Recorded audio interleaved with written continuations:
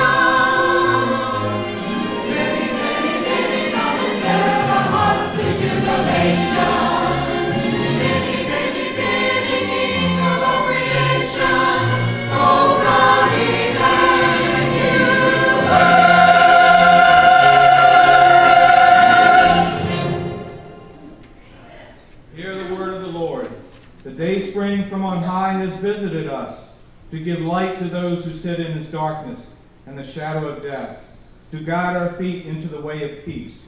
Luke chapter 1. Let us pray. God of glory and eternal light, as we light these candles for hope, peace, love, and joy, we remember that you alone are the source of all things, bright and good. You alone illuminate the world with golden promise, and it is your fire alone that burns in our hearts with the spirit of truth and grace. Help us to be your candles and let us give ourselves in service to your eternal flame. Amen.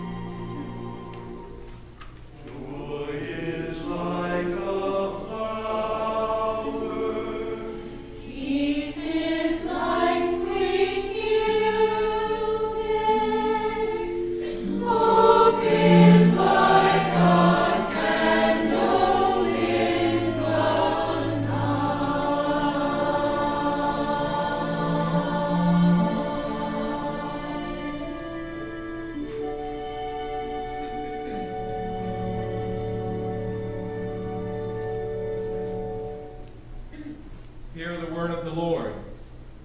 And I will give you a sign. A virgin will conceive and give birth to a son.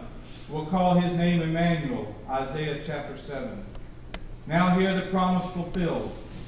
In the sixth month, the angel Gabriel was sent from God to a city of Galilee named, Nazareth, to a virgin betrothed to a man whose name was Joseph of the house of David, and the virgin's name was Mary. And he came to her and said, Greetings, O favored one, the Lord is with you. But she was greatly troubled at the saying, and tried to discern what sort of greeting this might be. And the angel said to her, Do not be afraid, Mary, for you have found favor with God. Behold, you will conceive in your womb and bear a son. And you shall call his name Jesus. He will be great and will be called the Son of the Most High. And the Lord God will give to him the throne of his father David, he will reign over the house of Jacob forever, and of his kingdom there will be no end. Luke chapter 1. Let us pray. O giver of life, place in us your holy presence.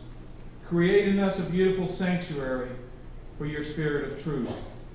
Let our hearts beat as one as we learn to trust your purpose for our lives. As your grace grows stronger in us each day, let us live to serve and with humble hearts deliver to the world your gospel of peace. Amen.